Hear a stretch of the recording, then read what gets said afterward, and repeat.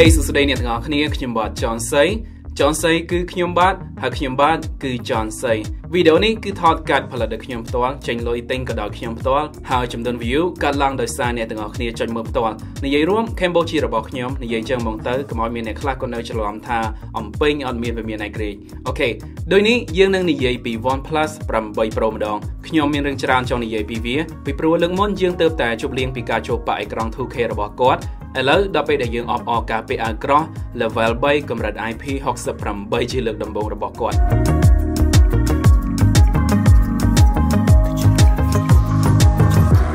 ដូចនេះខ្ញុំនឹងដាក់ឲ្យខ្លីតែចូលឲ្យជ្រៅបើសិនជាអ្នកទាំងអស់គ្នាពិនិត្យឲ្យអស់ OnePlus 8 Pro គឺជា Find X2 Pro ដែលដូរខោអាវអញ្ចឹង តែវាកាត់ដេរនៅហាងម្ចាស់តែមួយខុសតែផ្នែកមួយចំនួនប៉ុណ្ណោះយើងនិយាយពីអេក្រង់ដូចគ្នាអាយក្រោះដូចគ្នាលែនទម្លុះអេក្រង់ដូចគ្នាកម្លាំងម៉ាស៊ីនដូចគ្នាបច្ចេកវិទ្យាខាងក្នុងដូចគ្នានិងកាមេរ៉ាដើមដូចគ្នាចំណែកអ្វីដែលគេកាត់បន្ថយដើម្បីកុំឲ្យថ្លៃដូច Find A2 Pro គឺគេដក lens periscope zoom 60ដងចេញដកកម្លាំងសាក65វ៉ាត់ចេញនិងដកកាសគុណភាពខ្ពស់ពីក្នុងប្រអប់ចេញគេដាក់លក់ពីជម្រើសតម្លៃ899ដុល្លារវាប្រើ RAM 8GB ទំហំផ្ទុក 128GB ចំណែក999ដុល្លារ1ដុល្លារទៀត1000ដុល្លារគត់មាន RAM 12GB ទំហំផ្ទុក 256GB ប៉ុន្នេះអាចថាមិនថោកទេតែក៏មិនថ្លៃខ្លាំងដែរបើប្រៀបជាមួយទូរស័ព្ទឆ្លាតដទៃដែលចេញនៅឆ្នាំនេះហើយអេក្រង់ AMOLED 6.7 inch កម្រិត Quad HD+ ល្បឿនលឿន 120Hz គឺជាចំណុចលក់ធំបំផុតរបស់វាវាជាបន្ទះបង្ហាញលំដាប់ A+ ដ៏ល្អបំផុតមួយនៅលើទីផ្សារក្នុងពេលនេះហើយយើងកំពុងសម្លឹងមើលដង់ស៊ីតេ513 pixel ក្នុង1 inch ជាមួយកម្រិតពន្លឺឡើងអស់ដល់1300 nits អញ្ចឹងការប្រើក្រោមថ្ងៃវាបង្ហាញបានច្បាស់ល្អមិនពិបាកភ្នែកនោះទេបូកជាមួយ chip Snapdragon 865បន្ថែមយើងសឹងតែមិនចាំបាច់និយាយពីល្បឿននៅពេលនេះឡើយព្រោះវាអូហ្គេមធំធំនិងកម្មវិធីក៏ជាន់គ្នាច្រើនរអិលដូចបើអញ្ចឹងក្នុង N22 វាទាញបន្ទុបាន570000ជាងហើយពីអាទិត្យនៅជាមួយវាកន្លងមកនេះខ្ញុំពិតជាជីកលើល្បឿនប្រើប្រាស់របស់ទូរស័ព្ទនឹងមែនតើខ្ញុំមិនមានពេលក៏សម្គាល់ឃើញថាល្បឿនធ្លាក់ឬតាក់ frame ពេលអូតូម៉ូនោះទេម្ដងទៀតអេក្រង់ AMOLED Quad HD Plus 120Hz នេះ គឺជាបង្អួចដ៏ល្អបំផុតដែលបើឲ្យយើងអាចឃើញសកម្មភាពជាក់ស្ដែងវាអាចត្រួតត្រង HDR10 Plus និងបំពាក់មុខងារ Motion Graphics ជួយបង្កើនល្បឿន frame video ឲ្យដល់ RL ដូចមាននៅលើ Find X2 Pro ដែរហើយជាមួយ speaker ពីរគ្រាប់ទៀតខ្ញុំគិតថា OnePlus 8 Pro រកយុត្តិធម៌ឲ្យត្រចៀកនិងភ្នែកយើងបានចិត្តពេញលេងហើយអេក្រង់មិនត្រឹមតែបង្ហាញរូបបានកប់ទេតែ speaker ក៏ស្រែកបានធ្ងន់ស្រឡះល្អដែរ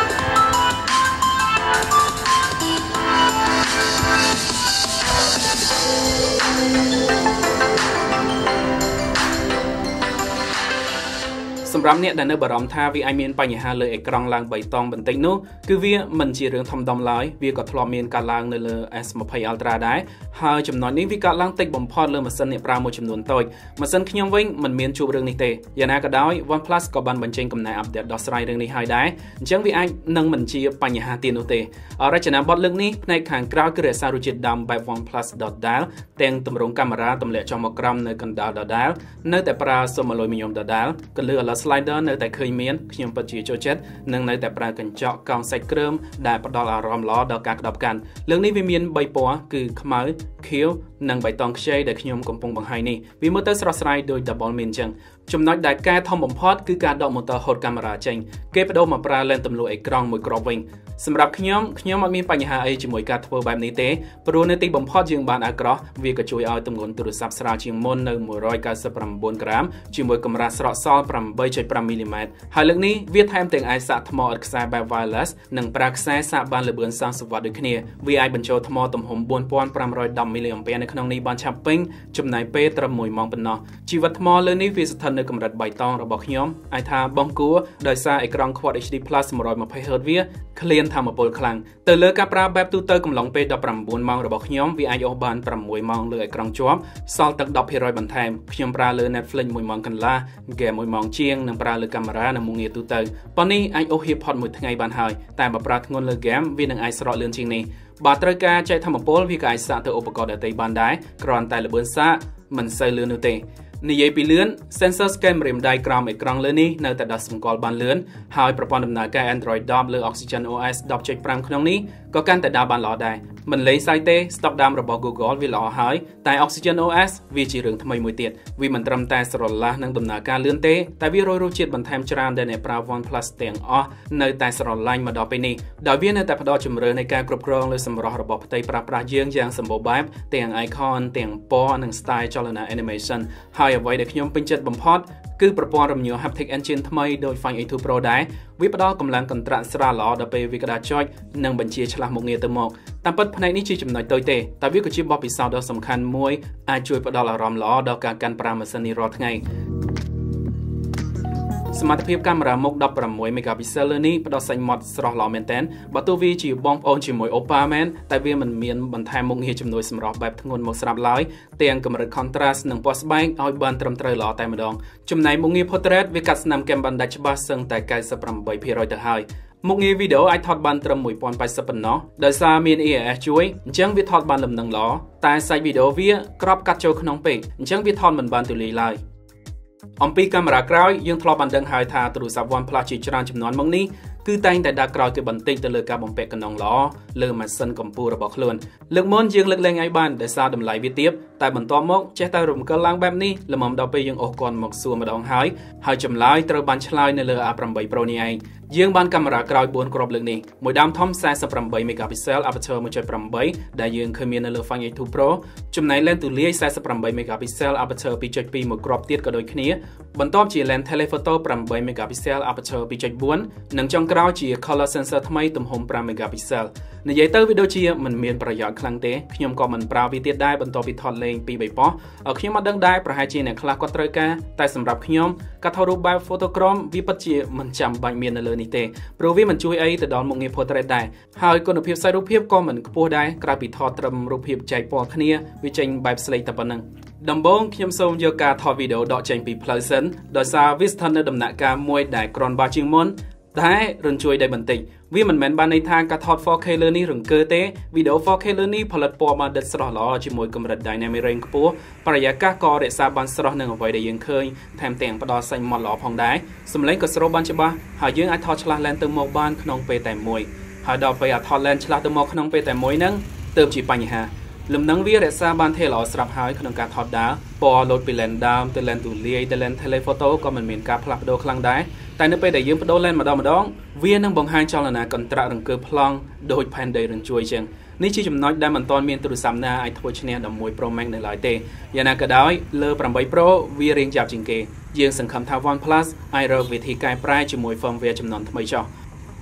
សម្រាប់រូបភាពថតចេញពី lens ដើមលើនេះគឺអាចនិយាយបានថាយើងមិនងាយបានឃើញរូបភាពគុណភាពខ្ពស់ថតចេញពីទូរស័ព្ទ OnePlus នោះទេ ហើយ lens 48 megapixel ថ្មីរបស់ Sony នេះអាចជួយសងសឹកបានហើយការ focus ចាប់ចំណុចមានល្បឿនត្រឹមត្រូវច្រើនវាប្រើ pixel binding មក12 megapixel ការថតនៅពេលថ្ងៃរូបភាពផលិតចេញមកផ្ដល់ dynamic range ខ្ពស់ល្អទាំងពន្លឺ contrast និងពណ៌ផ្ដល់បានដិតស្រស់បែបធម្មជាតិជាពិសេសគឺសាច់ម៉ត់សល់ detail ច្រើនវាជា sensor ធំដូចនេះការថតវត្ថុគៀកងាយនឹងផ្ដល់ប្លង់ព្រាលខាងក្រោយបានលេចផុសផងដែរហើយវាក៏ទប់ជាមួយពន្លឺថ្ងៃខ្លាំងមិនឲ្យឃើញស្ញាច់ឬក៏ឡើងខ្មៅនោះទេចំណែក lens ទូលាយលើកនេះថតបានស្អាតជាងមុនវាផ្ដល់រូបភាពច្បាស់ស្រស់ជាមួយកម្រិត white balance និង exposure មានស្ថិរភាពជាងមុនខ្ញុំពិតជាសប្បាយចិត្តជាមួយលទ្ធផលលើកនេះវាទប់ល្អលើស្នាមកោងសាច់ម៉ត់ក៏ទុកឲ្យច្រើនវាក៏អាចប្រើជាមួយមុខងារ macro បានដែរវាបើកឲ្យយើងអាចថតរូបតូចបានគៀកបំផុត3សង់ទីម៉ែត្រ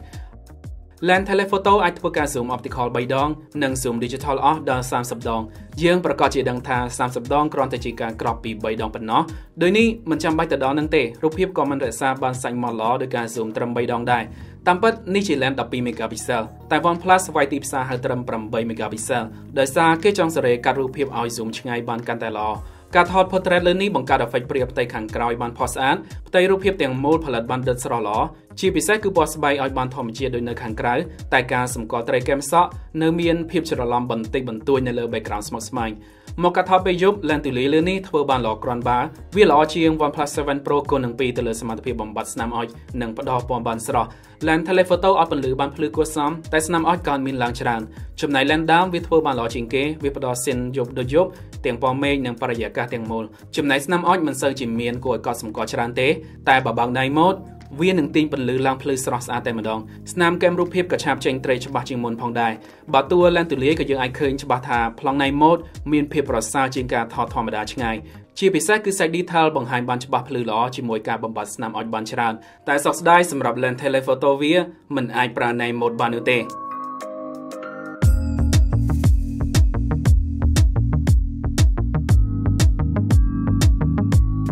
OnePlus 8 Pro គឺជាទូរស័ព្ទ Android ដ៏ល្អបំផុតជាមួយអេក្រង់ច្បាស់កំនៅពេលនេះហើយលើកនេះយើងមិនត្រឹមតែបានឲ្យក្រោះការពារជាមួយការសាកថ្មអត់ខ្សែទេតែយើងក៏ទទួលបានកាមេរ៉ាដែលមានសមត្ថភាពខ្ពស់ជាងមុនអាចប្រជែងជាមួយទូរស័ព្ទកំពូលផ្សេងទៀតបាន ហើយសម្រាប់តម្លៃចាប់ផ្ដើមពី899ដុល្លារវាអាចថារៀងថ្លៃបន្តិចមែនតែយើងនៅតែមិនងាយរកទូរស័ព្ទណាដែលមាន software ល្អបែបនេះជាមួយគុណភាពផលិតខ្ពស់បែបនេះក៏ដូចជាបំពេញនៅចំណុចខ្ពស់ច្រើនចេញពីកញ្ចប់តម្លៃប៉ុណ្នេះទេយ៉ាងណាក៏ដោយ8 Pro បើទោះវាមិនមែនជា flagship killer អីទៀតមែនតម្លៃ1000ដុល្លារបែបនេះទៀតខ្ញុំក៏មិនងាយក្នុងការណែនាំដែរសម្រាប់អ្នកដែលមិនធ្លាប់ទុកចិត្តយីហោនេះដោយសារវាគ្មានធានាផ្លូវការចំណែកអ្នកខ្លះក៏នៅតែគិតថាតម្លៃប៉ុណ្នេះវាមិនថ្លៃទេវានៅថោក តែបើអ្នកមើលអីវ៉ាន់ក្នុងប្រអប់និងមើលលើអ្វីដែលគេបានកាត់ចេញពីក្នុងម៉ាស៊ីនវាមិនខុសពី Find X2 Pro ទេដូចខ្ញុំបានបញ្ជាក់អញ្ចឹងសាកបន្ថែម lens periscope កាសនិងឆ្នាំងសាក65វ៉ាត់បន្ថែមយើងនឹងឃើញចំនួនលេខកាន់តែលើមិនខាន តែលើកនេះ OnePlus 8 Pro វាបានក្លាយជាទូរស័ព្ទកំពូលពេញលេញដូចគេដូចឯងហើយអ្វីដែលយើងខ្លាចបំផុតគឺប្រហែលខែទៀតមាននាទីចេញមកទៀតហើយដូចនេះវានៅតែជាចំណុចចាប់អារម្មណ៍មួយដែលយើងនឹងដឹងមុនថា5 6ខែទៀតអានៅក្នុងដៃយើងនឹងផុតកម្ពស់ធ្លាក់មកក្រោមនាទីវិញតម្លៃក៏នឹងធ្លាក់តាមនឹងលឿនទៀតដែរវាអាចជាចំណុចស្រងាក់ចិត្តបន្តិចវាមិនដូច Series S Series Note ឬក៏ Mate និង P ទេដែលយើងអាចកាន់មួយឆ្នាំពេញដោយមិនបារម្ភពេញមួយឆ្នាំបាន រឿងធំដែលអាចនឹងធ្ងន់សម្រាប់ OnePlus នៅថ្ងៃខាងមុខគឺថាបើសិនជាគេនៅតែបន្តរុញតម្លៃឡើងបែបនេះទៀតគេប្រកាសជាលែងមើល OnePlus ដោយផ្លូវដើមហើយព្រោះបើខ្ពស់សមត្ថភាពក៏ត្រូវតែខ្ពស់ប្រជែងជាមួយទូរស័ព្ទកំពូលដទៃទៀតដែរព្រោះអ្នកចាយលុយពេលនេះគេឆ្លាតណាស់ហើយ OnePlus ក៏មិនអាចនៅ safe zone ដូចមុនទៀតដែរព្រោះគិតកោ smartphone អាចនឹងត្រូវកំពូល smartphone ផ្សេងមកសម្រាប់គិតកោនឹងវិញមិនខានដូចនេះខ្ញុំមានតែប៉ុណ្្នឹងទេមិនដែរគិតយ៉ាងណាដែរទៅលើ OnePlus 8 Pro ជីកឬមិនជីកកុំភ្លេចសរសេរមតិនៅខាងក្រោមឲ្យខ្ញុំបានដឹងផងសង្ឃឹមថាអ្នកទាំងអស់គ្នាចូលចិត្តវីដេអូនេះហើយខ្ញុំនឹងនិយាយទៅកាន់អ្នកទាំងអស់គ្នានៅវីដេអូក្រោយទៀត